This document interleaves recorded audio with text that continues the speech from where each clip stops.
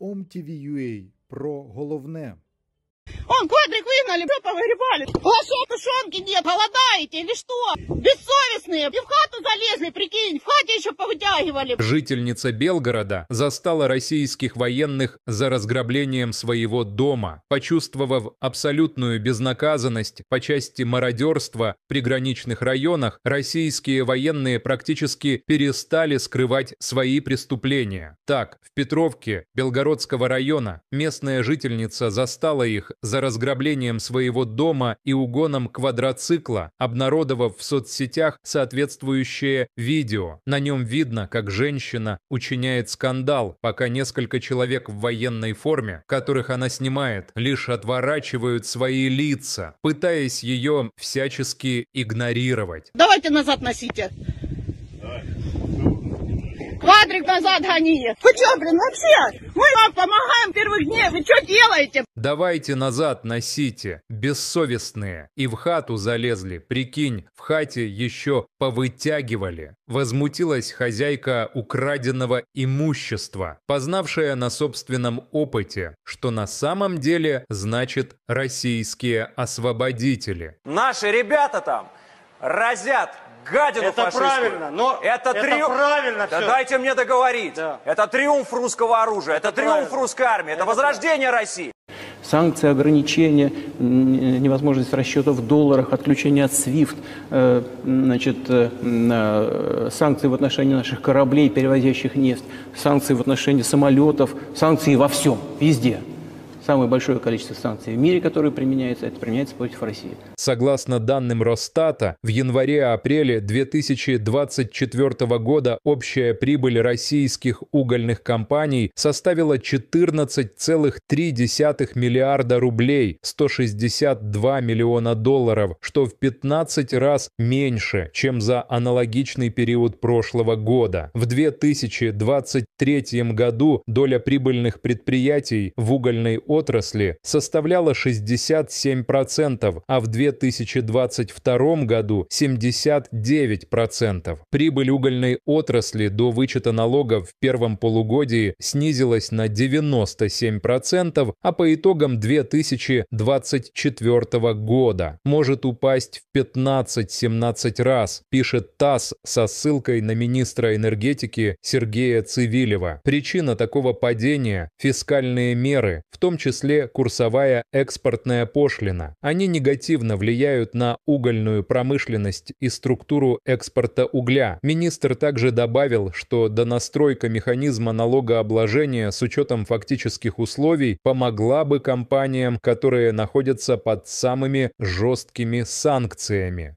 Вот потому что, э, ну потому что,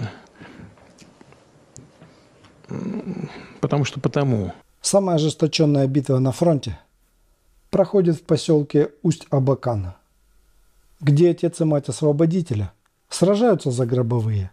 Наталья Олейникова все свои силы направила на борьбу с бывшим мужем, отцом ее погибшего ребенка. Ну, ему просто надо напакостить мне в душу и забрать вот эту часть вот этой автомобиля. Он ее на нее претендует, э, на наследство хочет вступать. А это память о моем сыне. Он при гибели, перед тем, как, видимо, чувствовал, что погибнет, и позвонил и сказал, сохраните машину, сохраните. Сыновей еще нарожайте. А вот Тойота... Тойота из России официально ушла. Вы что, не знаете об этом, что ли? Богдану в этом году должно было исполниться 27. Он служил в Сирии, участвовал в специальной военной операции на Украине. В отпуск приезжал в родное село Усть-Абакан, но этим летом из очередной командировки не вернулся. Стабильность – это когда в Россию не вернулась Тойота, а потом не вернулся Богдан. Потерь в вооруженных силах России нет. Хочу сказать, что специальная военная операция идет в строгом соответствии с графиком, по плану.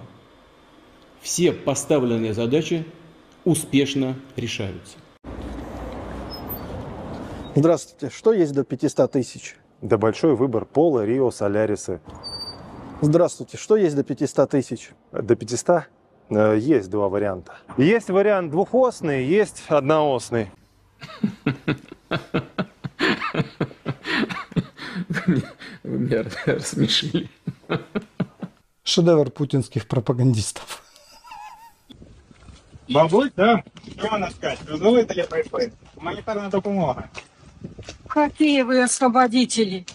У деревни расстреляли.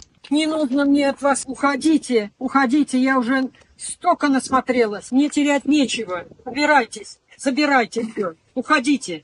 Все равно победа будет за нами. Thank you, thank you so much, everybody.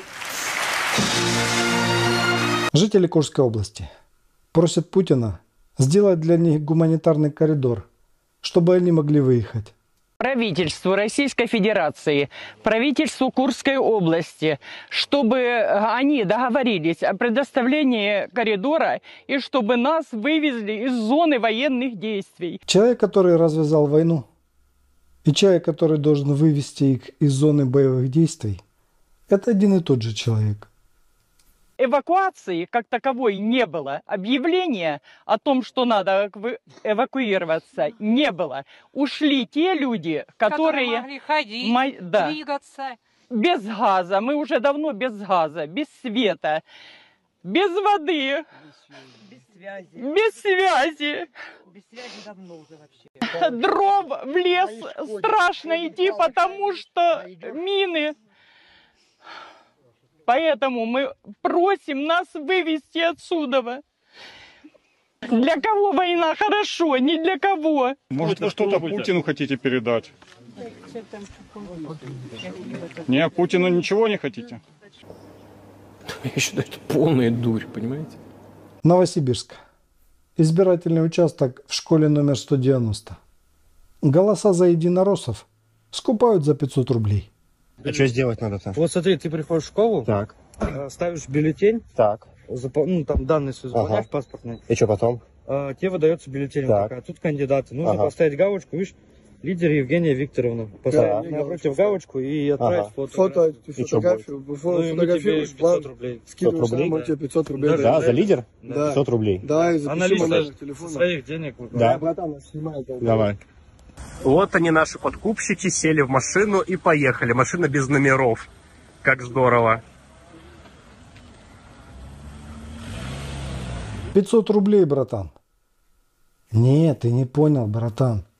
Целых 500 рублей.